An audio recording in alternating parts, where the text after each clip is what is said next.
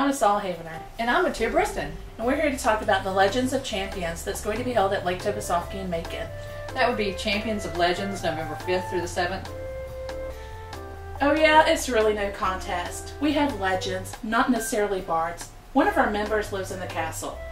We do kingdom level events. We have three laurels, three knights, and three pelicans. Mistress Deidre is an awesome feastocrat, and I'm not bad myself. We do youth combat. We have a five-time king. Our laurels can make anybody look good, and it's always sunny in Sol Haven. Well, Fool's War. Duh. Come to Champions of Legend, November 5th through 7th, hosted by the Shire of Tir Briste.